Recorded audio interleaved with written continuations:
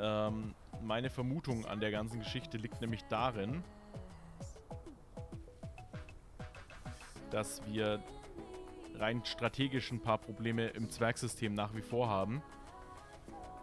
Und das ein großes Problem ist.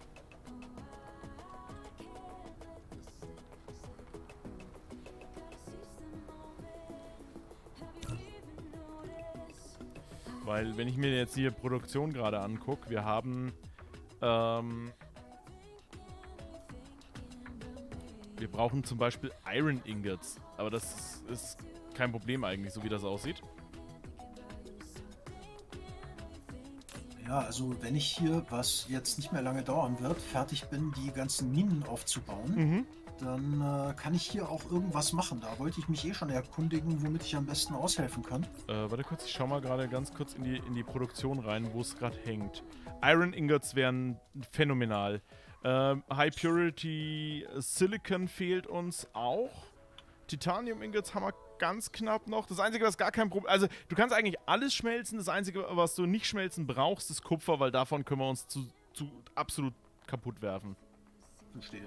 Also, wenn du, wenn du, wenn du äh, Schmelzen bauen möchtest, auch groß schmelzen mit Blueprint und Copy-Paste und solchen Späßen, mach ruhig Eisen. Ähm, das weil ist das ist gerade dringend.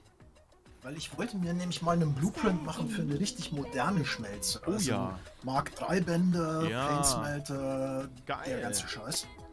Ähm, das ist dann vielleicht gar nicht mal so unpraktisch, wenn ich sowas hier auf Sadira 1 mache. Absolut. Miss Yukra, danke dir für dein Follow. Herzlich willkommen im Stream. Hi. Ja, also das, das, könnt, das könnte auf jeden Fall was äh, sehr Solides sein, finde ich. Yep. Gut. Ja, vor allem, wenn du mal so einen Blueprint hast, der ist ja im Prinzip für alle Sachen, die geschmolzen werden müssen, gleich. Ja. ja. Also es ist da nicht sehr schwer, dir so zu copy-pasten, dass hier dann alles mögliche verarbeitet wird, was wir brauchen. Ja, das kannst du ja dann relativ easy einfach äh, immer einstellen. Und, genau, das ist super easy. Ey, Raven, danke für den verschenkten Ambiss. Jukra im ersten Monat ganz frisch dabei. Dankeschön, Raven, dir. Das ist saulieb. Gerne Ausrufezeichen Hype. Ja.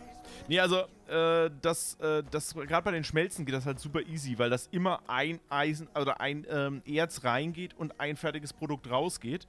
Und mit äh, Komma und Punkt kannst du ja quasi auch einfach das hin platzieren, den, die Produktionsart ändern, einmal drüber gehen und dann hast und dann wieder einen neuen Blueprint speichern und dann copy-pastest du quasi nur noch Blueprints irgendwann. Genau, so ist es. Das ist halt super angenehm.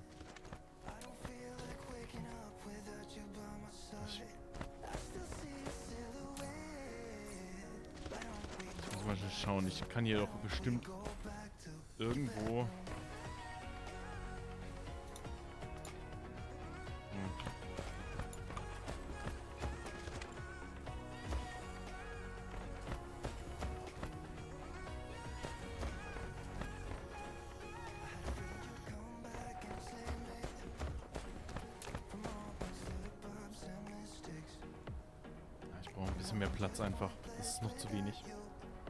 Das Gute ist, dass wir hier sehr ausreichend Energie haben. Das macht die Sache gerade sehr angenehm, hier gerade Motoren und so ein Blödsinn herzustellen. Es ist sehr viel angenehmer im Sadira-System das zu machen, weil du einfach alles hast. Wenn wir jetzt mal angucken, das hat die Produktion, auf jeden Fall diese Fabrik hat die Produktion hochgezogen, ne? Und wir produzieren, wir brauchen das eben auch. Wobei unser Problem tatsächlich als Bottleneck nicht mal die Motoren sind. Frag mich nicht wieso. Ich weiß es nicht, wahrscheinlich weil die Consumption noch nicht mitkommt. Unser Problem sind Magnetic Coils hauptsächlich. Ja gut, also das als Grundproduktion brauchst, ist natürlich ganz schlecht. Ähm, da klappt das mit dem Magnetenmangel nicht, aber das, das stimmt doch alles nicht. Das kann mir doch keiner erzählen. Also ich bin mir ziemlich sicher, dass ähm, Zappes auf Schwein 2 Magneten produziert und an den Spaceport leitet. Das kann mir doch keiner erzählen, dass die dann nicht wegkommen. Ich glaube schon, dass ich das tue. Und auf Mirzam weiß ich, dass es auf jeden Fall läuft, weil der, der, die meisten Fertigungen werde ich hingebaut haben. Auf Mirzam 5 war eigentlich nur ich. Ähm, ja.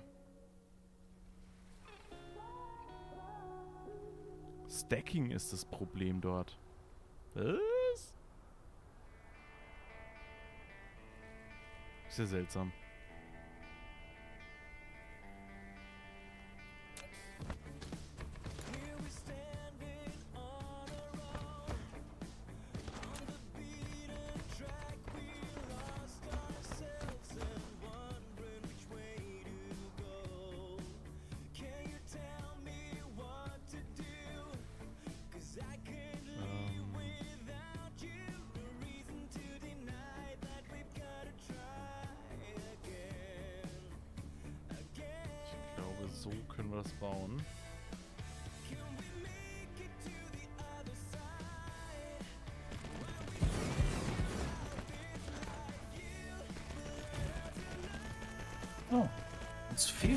Eine Kleinigkeit für die richtig moderne Lebenswelt. Ja?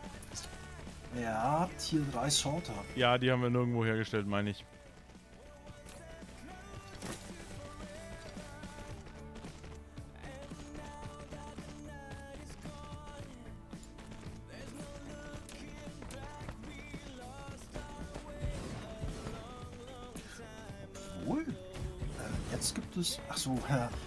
Total Production.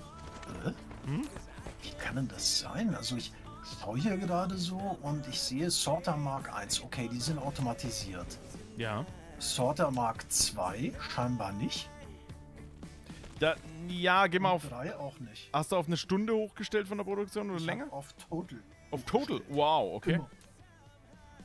Äh, ja, ich weiß. Wir, wir hatten da schon immer so unsere Probleme mit, das weiß ich noch. Und äh, ich glaube, ich habe da mit Code Blue mich mal drüber kurz unterhalten gehabt. Da haben wir gesagt, ja, das müssen wir mal machen. so. Ja, okay, eventuell kann ich mich da auch mal drum kümmern dann bei wobei, Gelegenheit. Genau, aber wie gesagt, also das Wichtige, Wichtigste von allem wären momentan so die Sachen Eisen, ähm, High Purity Silicon, das sind die zwei Sachen, wo es fehlt, wo wir definitiv Lücken im System haben. Das ist ganz, ganz schlecht. Ja, aber weißt du, das Problem, ne? also das Problem, Problem, das tut ja jetzt gerade sein, dass ich äh, gerne, wenn ich da diesen Blueprint klar mache, ne? ja. dass ich da gerne Mark 3 Sorter verwenden würde. Verstehe. Dann, äh, also ich würde sie tatsächlich, ja. Ich ja. mache gerade die ganz große Hosenkraft, äh, Hosentaschen-Crafting-Nummer. Ja, das. Und hoffe, genau. dass ich irgendwann mal, obwohl ich nicht dran glaube, Turbinen geliefert bekomme. Nee. Turbinen ist, äh, nee, also. Die täte ich brauchen tun. Ja, ich weiß. Kannst du die auch noch in der Handtasche herstellen, vielleicht? Äh, ich schau mal. Ich, ich denke ja.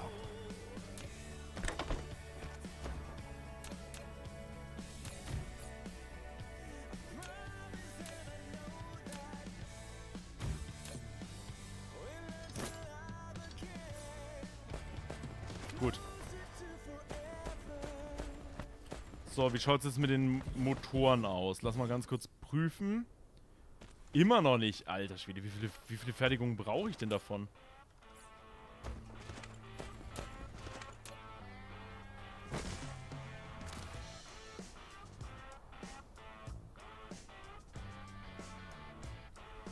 Zum Glück ist, wie gesagt, Energie hier nicht das große Thema.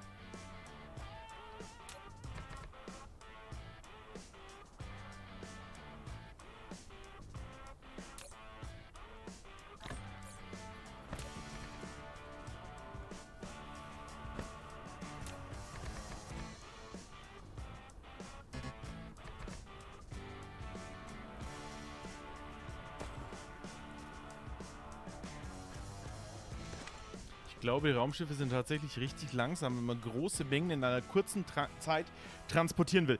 Das kommt natürlich drauf an, wenn du so eine wirkliche Druckbetankung machst. Dann kannst du das vergessen, mit einem Port auf äh, allen Ausgabelanes zu gehen. Ähm, da musst du aufpassen. Also, das ist natürlich, die, die, Ports brauchen ihre Zeit, vor allem wenn du das über das halbe System durchschiebst, ja, dann dauert das einfach würdest du jetzt oder gehst du davon aus, dass du zum Beispiel jetzt ähm, beispielsweise ähm, du baust eine sehr, sehr starke Druckbetankungsproduktion hier rein. Dann ist es einfach unpraktisch. Weil du wirst nie mengenmäßig in der Geschwindigkeit das kriegen.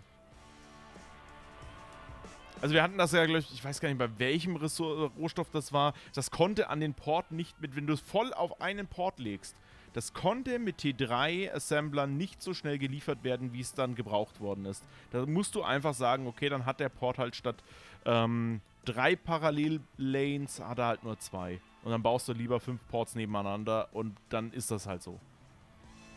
Aber irgendwo, irgendwo muss, muss er halt einfach dann sagen, okay, dann, dann funktioniert dieser Blueprint halt nicht. Ich äh, passe den an. Das ist ja nichts Fixes, ne? Das ist ja, du kannst es ja immer weiter schön anpassen, wie du es brauchst. Und das ist ja auch genau fein so. Also ich komme damit wunderbar zurecht. Man muss halt ein bisschen die Spielregeln immer wieder anpassen. Weil sonst geht es halt einfach nicht.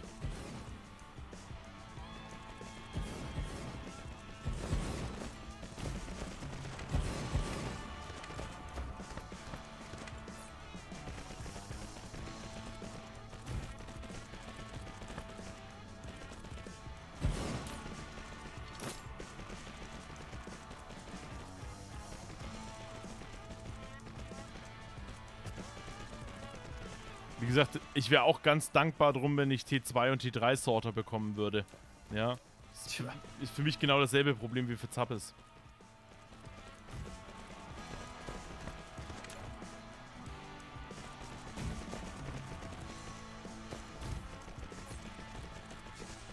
Ich versuche jetzt wenigstens theoretisch mal das Maximum reinzubekommen, auch wenn das natürlich, äh, wie gesagt, wir produzieren ja schon von ab, mit Absicht immer ein bisschen drüber über alles ähm, damit du eben genau solche Sachen wie jetzt Transitsachen oder sowas auch nochmal mit einkalkulieren kannst.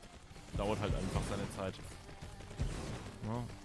Schauen wir mal, ob wir die 16.3 erreichen. Mir wären 18 oder so ganz recht eigentlich, aber mal gucken. Im Zweifel baue ich da nochmal 5 Fertigungen her.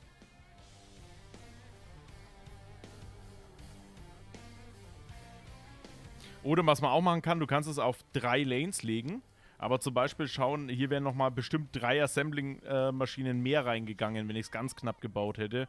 Habe ich aber nicht. Damit kommen die ein bisschen besser zurecht.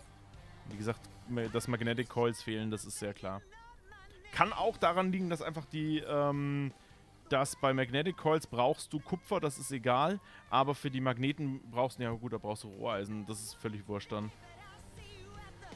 Nee, für die Electric Motors brauchst du ähm, Eisenplatten, Barren. Das kommt aktuell noch, aber theoretisch sind wir drunter. Also wir, wenn wir alle Maschinen Vollgas laufen, dann kriegen wir nicht, äh, nicht ausreichend geliefert. Das ist schlecht.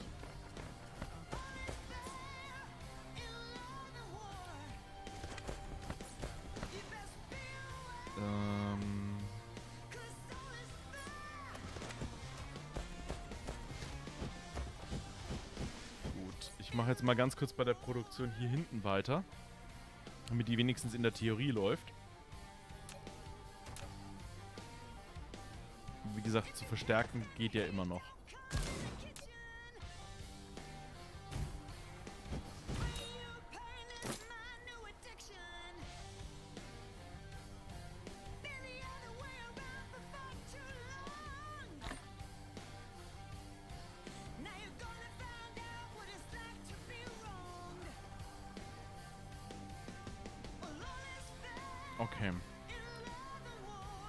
Das Zeug herzustellen, brauche ich das da. Das können wir auch äh, gleich über, die, über Ort machen.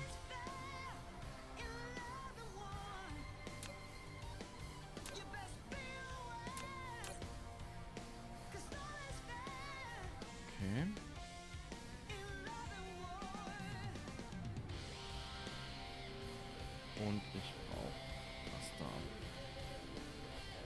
Gut. Wie gesagt, davon kommt jetzt noch nichts, aber das ist quasi ja eine Arbeit. Und dann brauche ich eine 5er Lane. Das ist natürlich auch selten.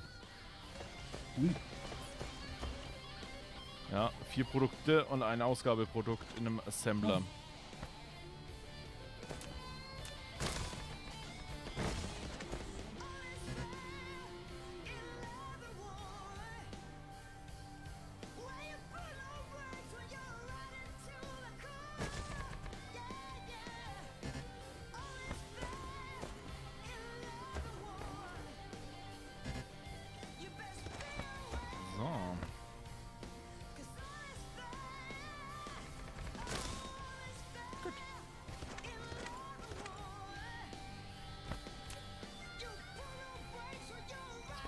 Bisschen mit Abstand vielleicht.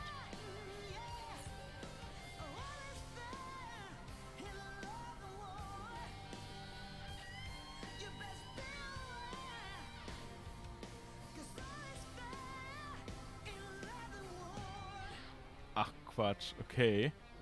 Das ist ja auch geil. Das habe ich noch gar nie wahrgenommen. Ähm, wenn du über dein Logistikinventar drüber gehst, über irgendeine Ressource, die da drinnen ist, und äh, da wird dir dann angezeigt mit so einem blauen Pfeil nach unten, dass die gerade geliefert wird, also dass gerade was Mhm. zu dir kommend ist. Wenn du da drüber hoverst, steht immer dabei Providable Items. Ja, das habe ich schon gesehen. Und die Traffic Capability, das ist auch ziemlich gut. Also Finde ich, find ich einfach interessant nochmal zum Nachgucken. Auf jeden Fall. Auf jeden Fall. Äh, klärt auch einiges auf, wenn man äh, sich nicht sicher ist, ob irgendwas überhaupt im Logistiknetzwerk ist. Genau, genau, genau. So, also wir machen jetzt hier eine 5er Lane, das heißt wir gehen hier mit einer hoch, mit zwei runter. Oh, ich habe keine einzige Assembling Machine mehr. Oh Mann. Okay, das dauert jetzt ein bisschen. Äh, ich nehme an, du wirst die äh, Mark II haben wollen. Äh, Mark 3 fordere ich eigentlich an. Aber ich okay. glaube, ich kriege keine Mark 3 gerade.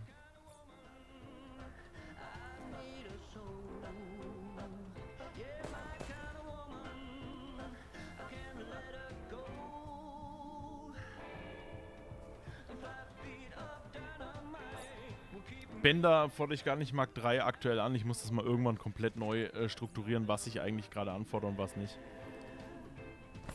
Ich glaube, ich wir, haben, äh, wir sind aus der Zeit raus, wo du 1000 äh, Eisenbarren haben musst im Inventar. Ja.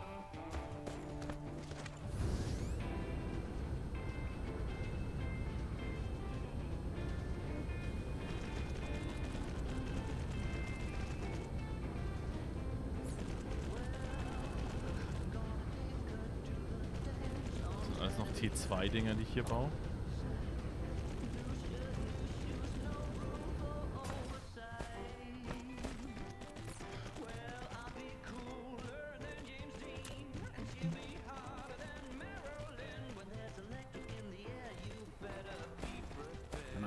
Eigentlich der Vorteil, wenn man einen äh, Planesmelter statt einem normalen Smelter benutzt? Der, geht, der produziert, also er produziert nicht nur schneller, ähm, also er produziert schneller, so rum. Braucht mehr Energie und Also- produziert schneller. Hat einen höheren Durchsatz. Da musst du mit den Bändern allerdings aufpassen, dass wenn du quasi so viele in Reihe baust, dass der hinterste überhaupt noch was kriegt, selbst mit T3-Bändern. Das, ist der Punkt. Ich rechne sowas immer aus, wenn ich meine Sachen baue.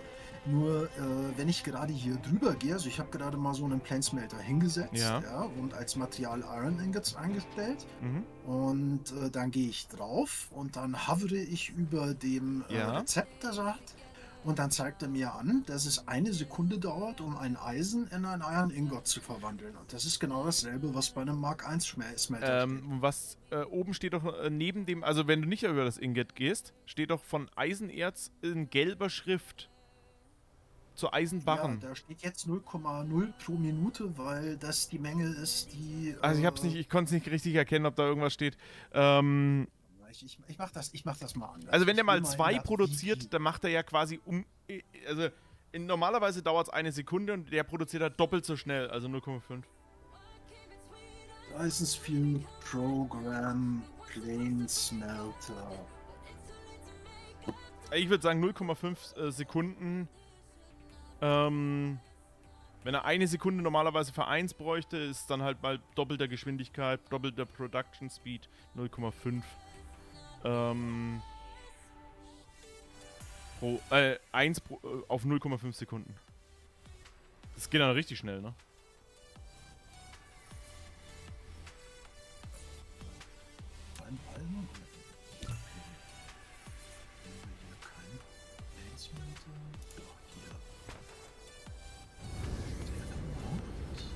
Sehr gut. Ja? Nee, äh, es steht hier im Wikitext, in, nur im Text drin. Ja. Ähm, zweifach schneller als ein Arc-Smelter. Okay, also braucht also nicht eine Sekunde, sondern eine halbe Sekunde. Das heißt, für ein Mark 3 Band brauche ich 60 Smelter. Oh. Wow, okay. Wow. Okay. Ich glaube, ich muss das, was ich mir gerade gedacht habe, ein bisschen anders planen. ja gut, du, du kannst ja, also es kommt natürlich darauf an, ob mit einem Port müsstest du das hinbekommen, dass dann auf, wenn du 60 hast. Das, das ist nicht das Problem, das ist nicht das Problem. Drei es geht Lanes. wirklich um Layout. Ja. Wie ich das Blueprintable hinkriege. Also ich würde drei Parallel-Lanes bauen, mit jeweils 20 Planesmeltern. Das ist ungefähr das, was ich vorhabe, Zwerg. Ja. Das wäre jetzt so meine, meine Lösung, weil du musst auch immer dran denken, wie viel Output-Lanes du ähm, an einem Port nutzen kannst. Also da würde ich jetzt nicht so arg in die, in, ins Kleine runtergehen. Je weniger, desto ja. besser, aber ja. Ja, Zwerg, das ist der Plan. Ah, ich bin begeistert. Es hilft ja nicht. Ich muss es irgendwie hier zusammenrechnen. Ja. Da bin ich gerade dabei. Ich verstehe. 6, 10.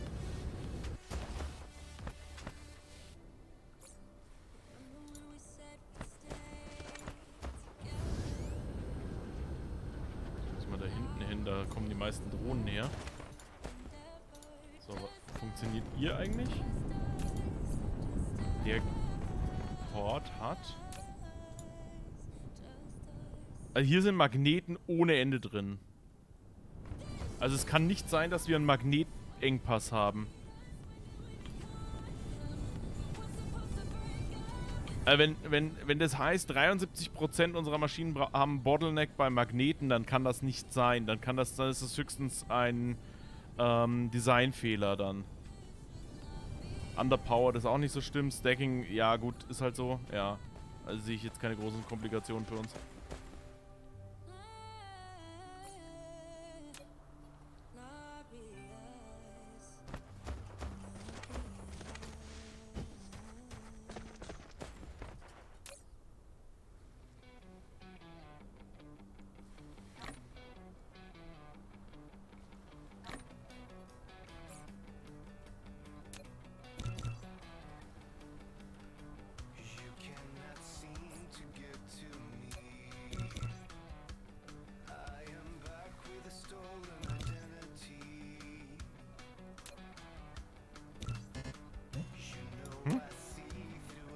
Ich bin nur gerade ein bisschen dümmlich. Was? Alles gut.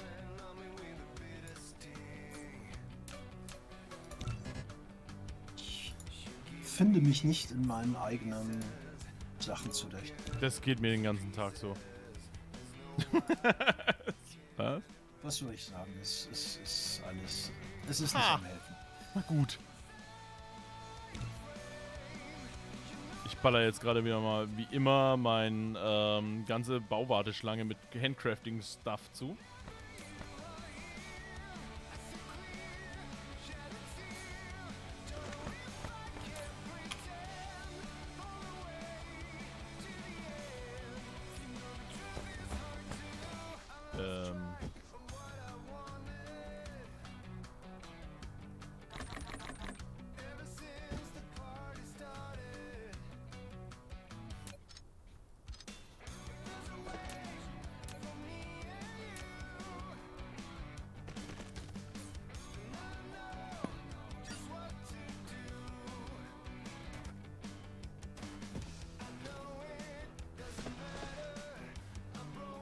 Yeah.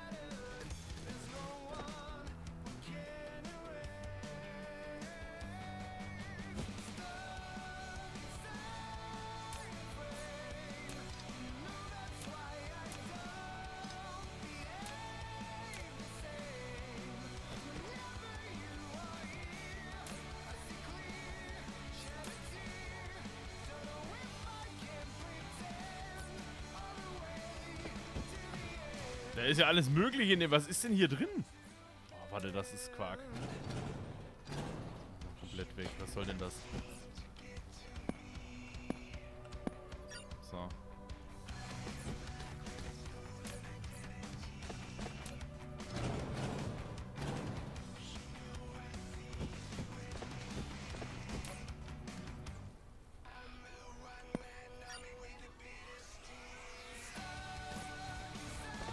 Schauen wir mal.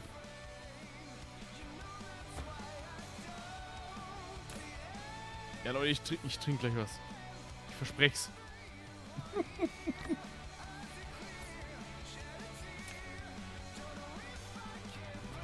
ja, der Chat macht sich Sorgen mittlerweile. Ist nicht gut. Ja, das ist sehr, sehr gut vom Chat. Ich finde auch. Braver Chat. Brav.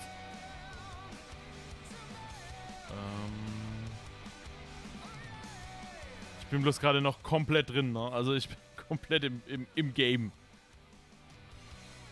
Ja, ich, ich bin gerade auch irgendwie äh, so, so, weißt du, so hart am Denken. Ja, ja, genau. Ich überlege gerade, was vergesse ich gerade. Irgendwas vergesse ich gerade und ich weiß nicht was und das macht mich wahnsinnig, ja. sowas. Ich, ich mache bestimmt gerade irgendwas grob falsch. Ja. und hinterher lachen sie mich wieder alle aus. Alle! Ja, außerdem warte ich nebenher, wie in meinem Rucksack Magnetkolz gebaut werden. Ja, ja, jetzt, also das ist halt, das zieht sich, ne?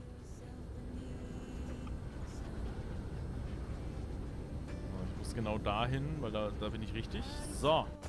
Hello. Ähm, Bärchen, ich kann dir sagen, mich muss mir ans Trinken erinnern. Ich bin der knallharte Dauersäufer. Ich hau pro Stream 3 Liter Leitungswasser weg. Ah, herrlich. Kein Risiko, alles gut.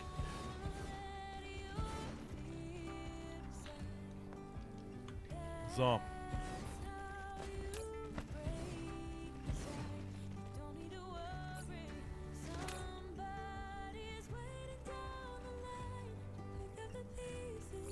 Wie mache ich denn meine Stromversorgung? Das ist ja so das nächste Thema. Mhm. Hm.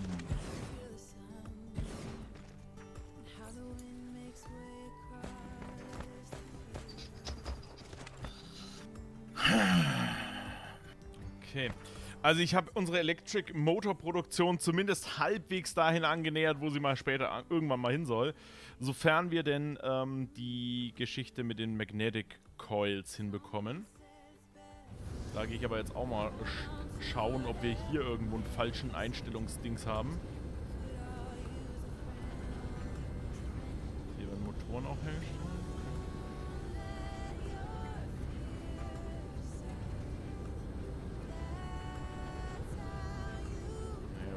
Wir auch nicht so wirklich.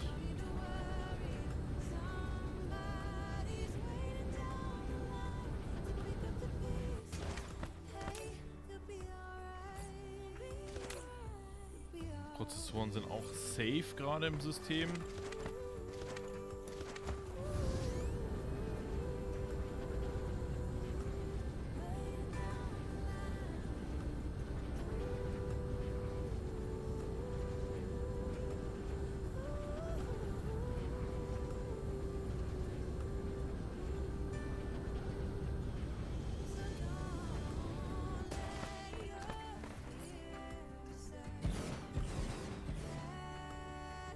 Ist nicht perfekt, funktioniert aber für den Moment.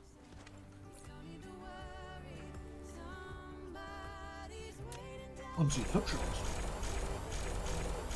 Ja, wir können noch mal ein bisschen upgraden.